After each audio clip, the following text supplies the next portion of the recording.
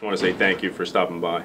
Well, we'd like to, you know, partner with you where we can. Rachel, maybe you can think of some creative things we can do uh, mm-hmm. to uh, bring our branch offices and uh, our, some of our folks in Annapolis closer to what you guys are doing. Maybe there's some other uh, military installations in the state that may not be as uh, organized as you guys.